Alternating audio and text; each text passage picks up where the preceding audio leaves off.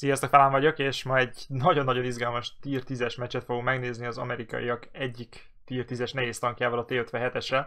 Aki irányítani fogja az Odihun lesz, aki egy nagyon jó játékos szerintem, már csak abból kiindulva is, hogy két darab gunmark van a, a tank csövén, és ha jól tudom, akkor a leírás alapján, a visszajelzés leírás alapján a harmadikat próbálta megszerezni, amikor ez a visszajelzés történt. Úgyhogy valószínűleg tudja, mit csinál ezzel a tanka. Pálya az Fjords lesz, és indítsuk is el. Szerintem ez egy nagyon-nagyon izgalmas meccs lesz. Na most ez az a tank, ami nekem még nincs meg az amerikai vonalon, előbb-utóbb szeretném megszerezni, mert igaziból ez, meg az AMX-50B a, a francia oldalon, nagyon hogy French. Szóval a francia oldalon ezek nagyon-nagyon jó tankok, és nagyon jól lehet velük kerizni meccseket.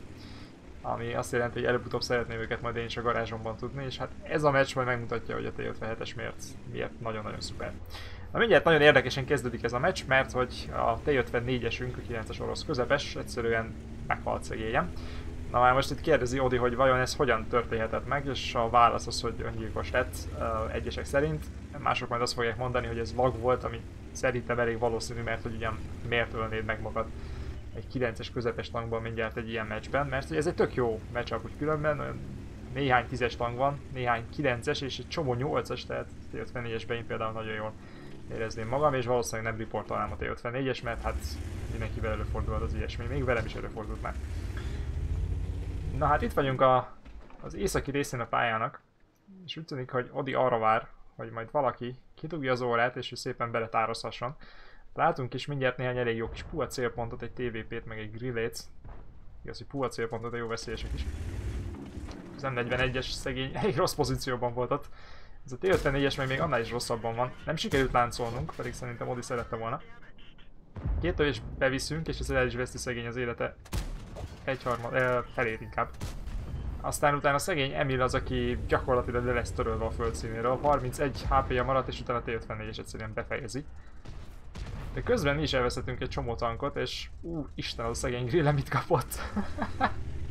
és szépen le is ég. A halálcsillag egyszerűen, hát igen, nevéhez hű maradt, azt hiszem. A Grillnek meg egy nagyon-nagyon rossz meccse volt, de hát van ez így. És mivel a Grille végre eltűnt onnan, ezzel az egyik legveszélyesebb tank is eltűnt, úgyhogy Odi előre nyomul. T-54-es lövik. Még mindig nagyon sok, nagyon komoly közepes tank van itt.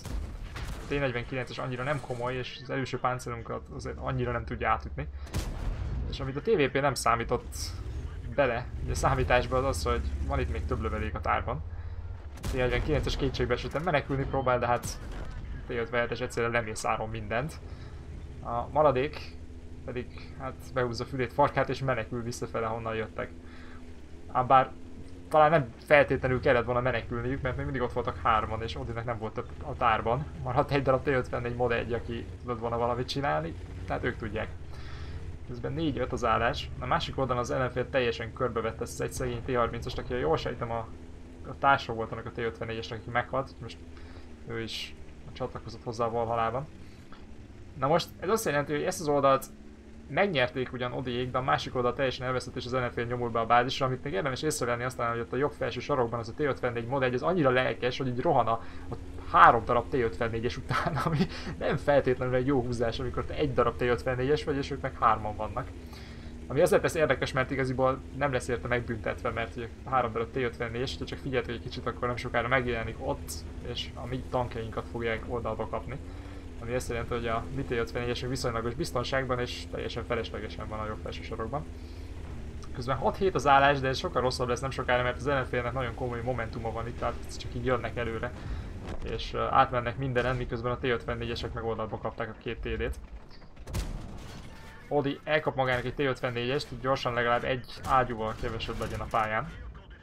Alatt egy darab lövedik a tárból megpróbálja a toronyfronton átvinni, sikerül is neki de kap egy lövést a cserébe. Nem baj, ez valószínűleg megérte, mert azt a mouse-t valahogy, valahogy le kell onnan pusztítani. Közben 7-8 azért mindig nem tűnik annyira kegyetlennek, és a T-54-es legalább valamit jól csinál és keppel, miközben úgy tűnik, hogy a két TD annak ellenére, hogy térkép alapján úgy tűnik, kicsit oldalba kapták őket, még egyre tartja magát is kettő szegény nem tudja mi vár rá. És ráadásul elfordítja, elfordítja a tornyát, hogy a T-44-esre foglalkozzon, de hát ez már nem igazán osztott szorzott. Kap egy lövést Odi a mouse-tól, és utána nem igazán sikerül átmennie az előső páncéljel. Szerintem jobban járt volna egyébként, ha megint a toronyfrontra lő, mert be volt egy kicsit fordítva a tank eleje, és a mouse nem könnyű átlőni. És a T-57-esnek a jól tudom, annyira azért nem hatalmas az eltütése. Az egyik hátrány, hát ez 258, ez nem olyan rossz. Szóval igaziból nem panaszkodhatunk. De hát a mouse az a mouse, igaz? Na most mi keppelünk, ez jó.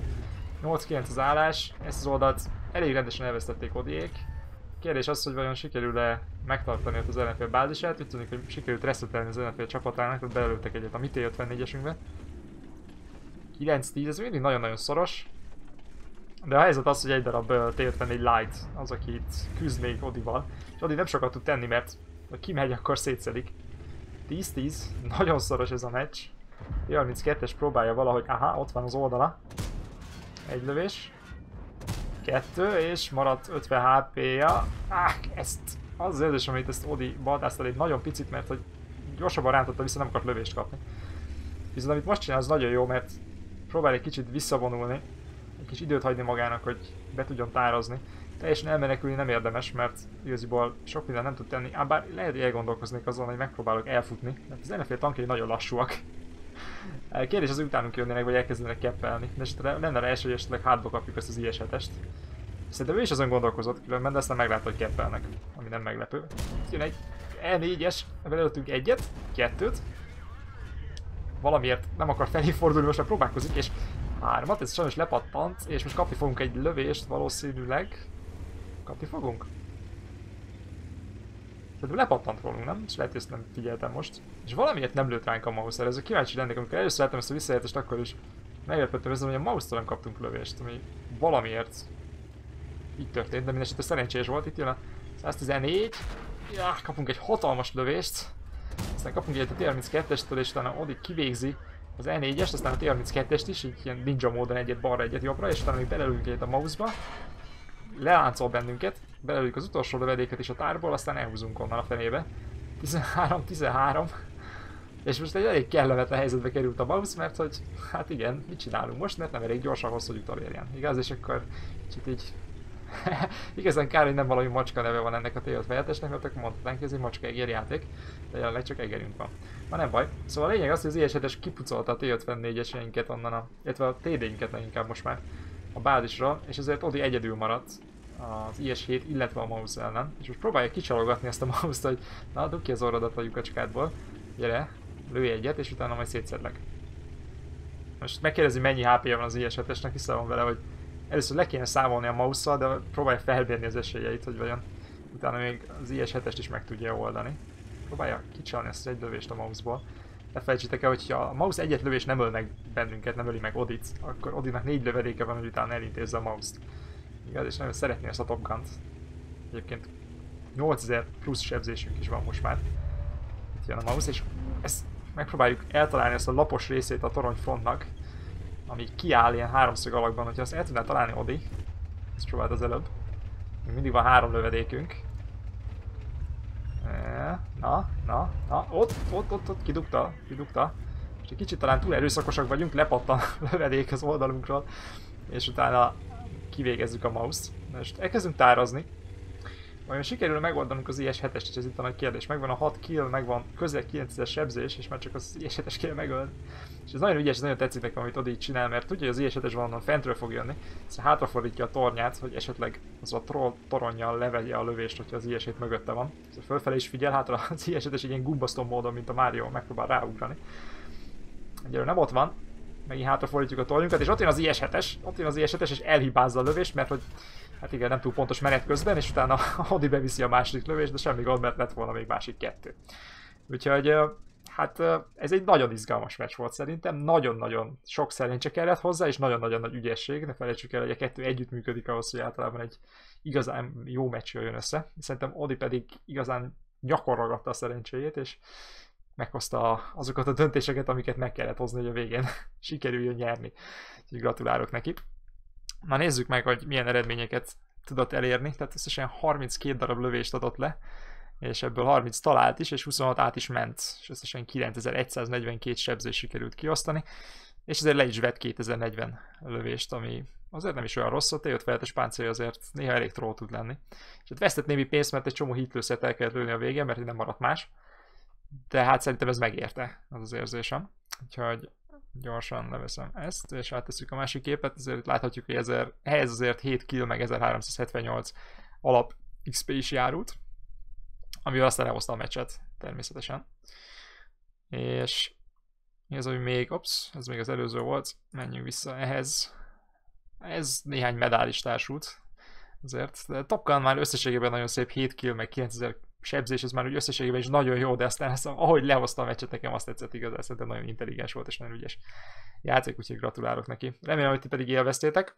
Találkozunk legközelebb. Sziasztok!